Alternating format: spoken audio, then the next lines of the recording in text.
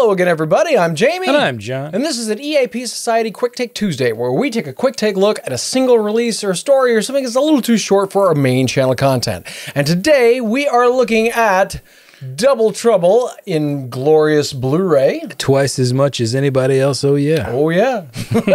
now the really cool thing about this, you know, Double Trouble and Spin Out kind of came out not too far apart from each other, and uh, what's really nice is those are especially important for Elvis fans because not only are they not available on Blu-ray or 1080p until now, they were not available on digital 1080p either.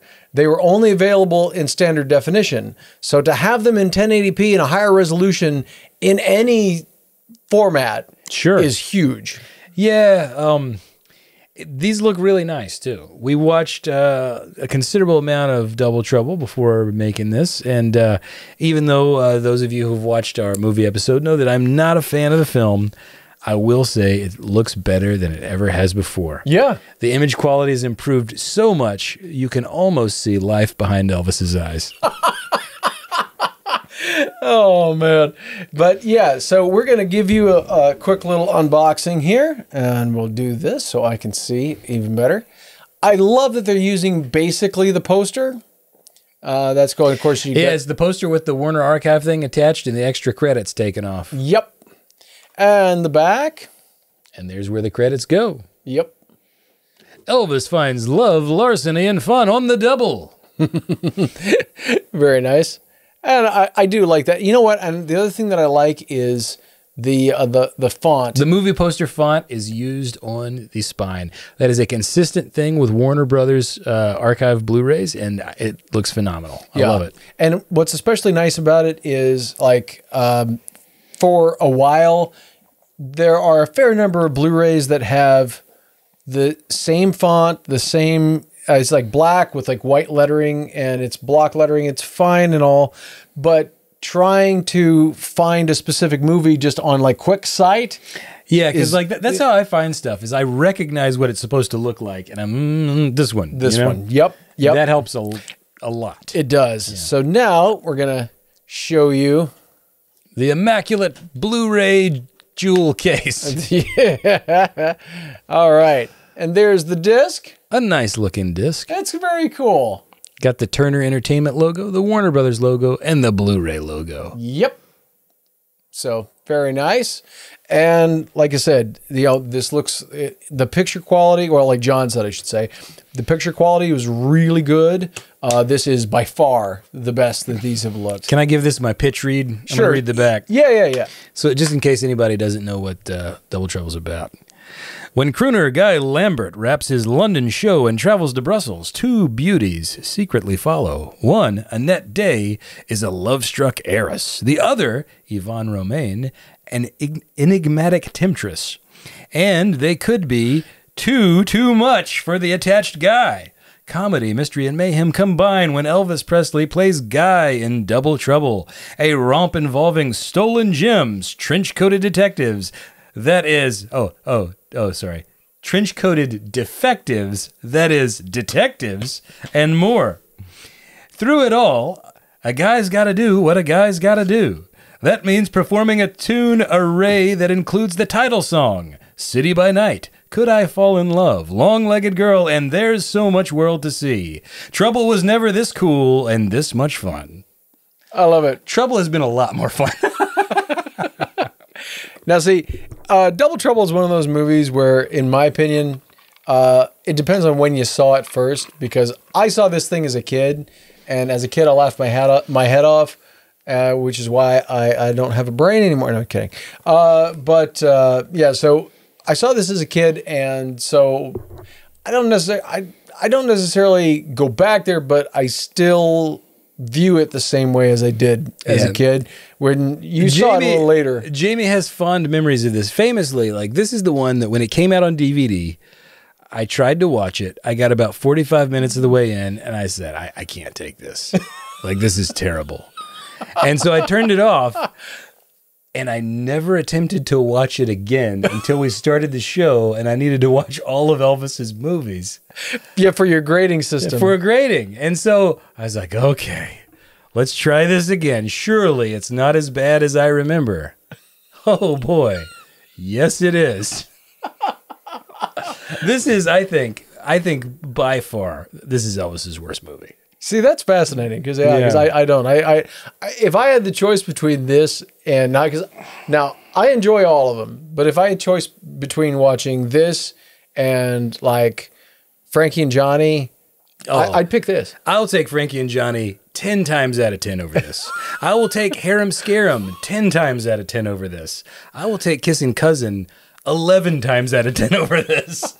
like, yeah, I just, I don't know. There's just, I, Elvis seems bored, and I do too when I watch this film. See, to me, it's just it's it's silly humor. It's like it's like Looney. Tunes. It's kind of like Tickle Me. Uh, the um, it just minus Jocelyn Lane, which is I know for it's silly humor when all the jokes are read like this.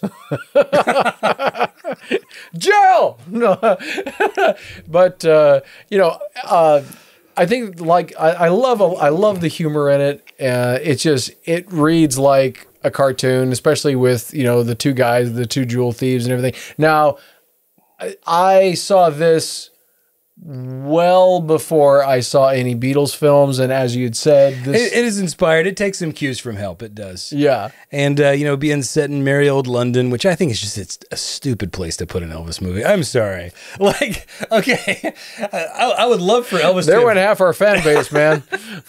no, I think Elvis would have been phenomenal touring in London. right. As an Elvis movie, that's uh, it's almost like setting an Elvis movie in Detroit or something. You know, like we got a little bit in Chicago in Girl Happy, Sure. but they got out of that shit in the first five minutes. you know, and they got down to Fort Lauderdale. I'm just saying, like rainy, dreary, inner, uh, you know, big city. Yeah. Not an ideal site for an Elvis movie. I don't know. I, I think uh, I think there's a lot like there might have been ways to do this that would keep you more interested. Oh, certainly. but here's the thing I understand that that's not entirely possible because to do that, you would have to have Elvis at a point in his career when he was less questioning his life choices. Yeah, like You can This see is- him mentally counting the number of movies on his contract with every scene in this film. well now I will I will say this is right around the same time as uh, How Great Thou Art and all of that kind of thing. And that's just baffling. and and just like and so you can definitely you know as an adult you can certainly you can see the separation and everything but honestly if you're just watching to have a good time honestly i had fun with it i and i still did i was you know he's he, he was rolling his eyes as we were watching and i was still laughing I was in pain, and Jamie was over here cackling at it. And I hey, love it. I'm glad Jamie can enjoy the movie. I'm glad for anybody who enjoys Double Trouble. uh, and uh, you know, to be honest, I'm going to buy a copy of this myself just because it's Elvis on Blu-ray. yeah I probably won't watch it all that often, right you know.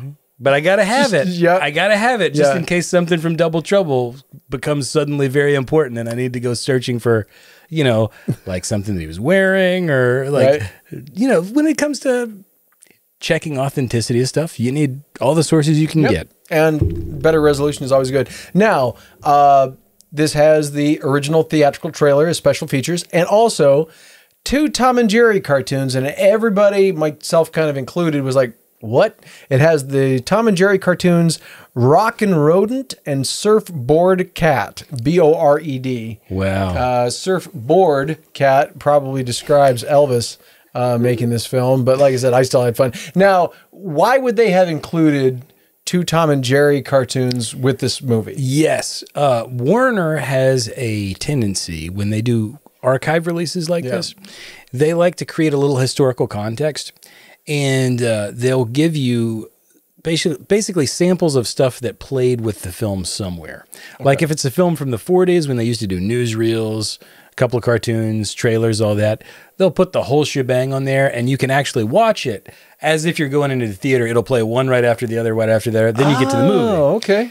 This is inspired by that. Both of these cartoons ran with Double Trouble at some US screenings. Okay. And so you can watch the cartoons, which would be would have been played then. They didn't really do newsreels as much in 67, Right. but um it gives you a little idea of what it would have been like had you gone to the theater to see it. Cool. Okay. So now you know. Now you know why Tom and Jerry cartoons are because I was confused about that too. So that's that's cool. So the uh, that's that's why it's nice to have a film historian. uh, in Somebody who buys lots of Warner discs. exactly. So very cool. Anyway, this is our look at the Blu-ray of Double Trouble. Um, you know, whether the movie is for you or not, the visual quality is excellent. Easy come, easy go. Ten times out of ten over Double Trouble. Oh man, this that's I, I like Easy Come. That's Easy just being go. hurtful. I'm, not, I'm not even going to apologize for it. I think Easy Come Easy Go is a fun movie. I enjoy Easy Come Easy Go. Baz Luhrmann agrees with me. Yeah, but I enjoy this too. So the uh, uh, there's no accounting for my taste. But anyway, uh, but honestly, picture quality is good. Uh, sounds good. Um, yeah, it's a solid. It's a solid release, even if the movie itself is uh, not for everybody. It's a fine release. Yeah. Yeah. So anyway, and especially if you can grab it on sale, always cool. So anyway, I'm Jamie. And I'm John. And this is the EAP Society Quick Take Tuesday. So the Elvis Archival Preservation Society's whole point is to make sure that Elvis history is not lost to history and information about releases and stories and history and all that kind of stuff from when Elvis was alive all the way up until today are preserved for current generations and future generations, no matter what your budget is. Because Elvis liked for his art to be accessible to people of all walks of life, and we like to pay that forward as best we can.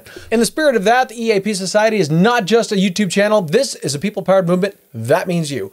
And you can help us by liking, sharing, commenting on the video, subscribing to the channel if you've not already. And it helps us by getting us out there in the algorithm so more people see us. And it could help you because when we hit 20,000 subscribers, we're going to give away this item that personally belonged to Elvis Presley. This letter opener he had from 1956 until 1973. So I had it for quite a long time.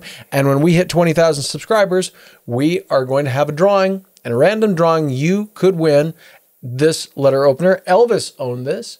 You might be next, but only if you're a subscriber. So subscribe today. Uh, we do live events. Check out the banner below. You can uh, see where we're going to be. EAPsociety.com for the information on that. We really appreciate that. Our weekend events are a fun-filled Elvis weekend, three days or so, and the prices don't break the bank, which is always good. That's the thing that Elvis was like. We like to do that as well. And even better, the proceeds go to helping the EAP Society with Elvis history and preserving Elvis history.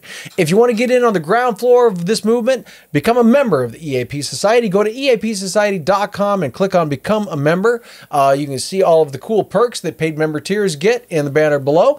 Uh, we really appreciate all of our members. Thank you so much to all of our members, especially a big shout out to our very own Colonel, Colonel Miles Foreman. Thank you, Colonel. Appreciate you very much. All right, we put out content on Tuesday with our Quick Take Tuesday, and of course, our main channel content on Friday. So until the next video, be good to yourselves, be good to each other, and always TCB. TCB. My society, my society, here with all the friends I wanna see. Don't need no high society to get My society, yeah, that's for me Oh, my society, yeah, that's for me. Oh, my society, yeah, that's for me.